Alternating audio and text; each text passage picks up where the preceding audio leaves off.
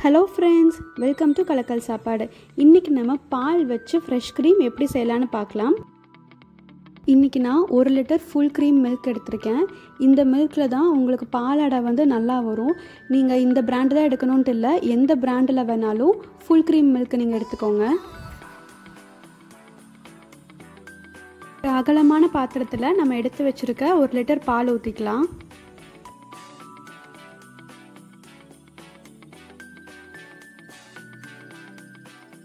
பால் நல்லா பொங்கி வரட்டும்.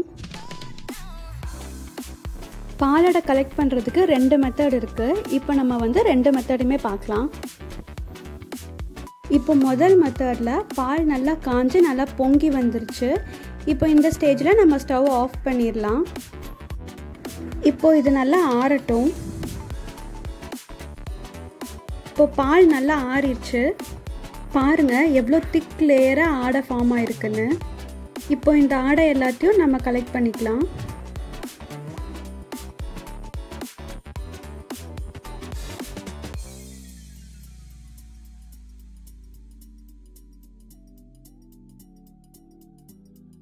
செகண்ட் மெத்தட் வந்து நம்ம பால் காய்ச்சும் போது பொங்கி வர ஆடையை கலெக்ட் பண்ணிகிட்டே இருக்கிறது. எவ்வளோ சூப்பராக ஆடை ஃபார்ம் ஆகுது பாருங்கள் இந்த மாதிரி நம்ம பால் காய்ச்ச காய்ச்ச மேலே வர ஆடையை அப்படியே கலெக்ட் பண்ணிகிட்டே இருக்கலாம். இப்போ நம்மளுக்கு ஒரு லிட்டர் பாலில் ஒரு கப் அளவுக்கு பாலாடை கிடச்சிருக்கு. இப்போ ஒரு விஸ்கோ இல்லை பீட்டரோ வச்சு இதை நல்லா பீட் பண்ணிக்கலாம். விஸ்கோ இல்லை பீட்டரோ இல்லாதவங்க நார்மல் கரண்டி வச்சு கூட இதை நல்லா அடிச்சுக்கலாம்.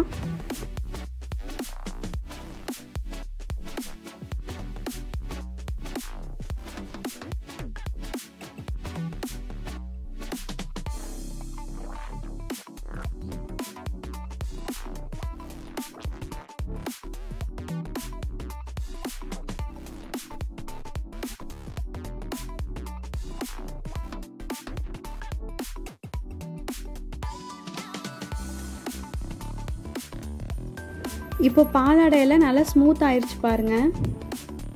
இப்போ இதை நம்ம ஒரு ஒன் ஹவர் ஃப்ரிட்ஜில் வச்சு எடுத்துடலாம். இப்போ ஒன் ஹவர் ஃப்ரிட்ஜில் வச்சு எடுத்தாச்சு. இந்த க்ரீம் யூஸ் பண்ணி நம்ம விப்ட் க்ரீம் ஐஸ்கிரீம் அப்புறம் கிரேவிக்கெல்லாம் கூட யூஸ் பண்ணிக்கலாம்.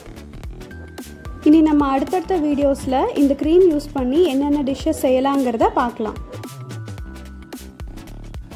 இதை கண்டிப்பாக ட்ரை பண்ணி பாருங்கள் ட்ரை பண்ணி பார்த்துட்டு எப்படி இருந்துச்சுங்கிறத கீழே கமெண்ட்டில் சொல்லுங்கள்